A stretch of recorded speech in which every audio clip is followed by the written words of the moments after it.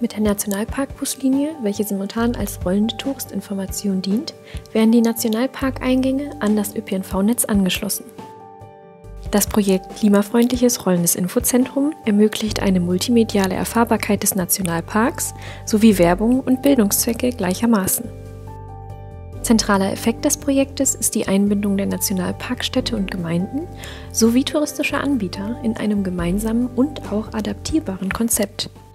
Aus meiner Sicht wäre es äh, sehr sinnvoll, wenn wir darstellen könnten, dass mit dem öffentlichen Nahverkehr die Erschließung eines Nationalparkes nachhaltiger geschehen kann als mit dem Individualverkehr. Eine Verknüpfung von Radtouristik, äh, Fußwandern als auch äh, öffentlicher Nahverkehr kann den Nationalpark besser erlebbar machen für Einwohner und Touristen.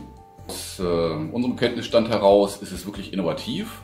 Es gibt bereits natürlich Nationalpark-Buslinien, auch in anderen Nationalparks. Die sind zum Teil mit Erdgas betrieben, ähm, aber wir haben einen wichtigen Unterschied. Einmal, dass wir wirklich rollende Informationszentren entwickeln wollen, also dass in den Bussen Informationen vergeben werden.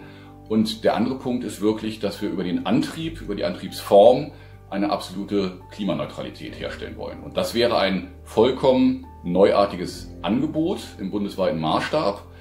Und wir hoffen damit auch wirklich einen Zuwachs an Besuchern zu haben, ein touristisches Angebot vorzuhalten, wo wirklich gerade wegen diesem Angebot auch Besucher extra hierher kommen.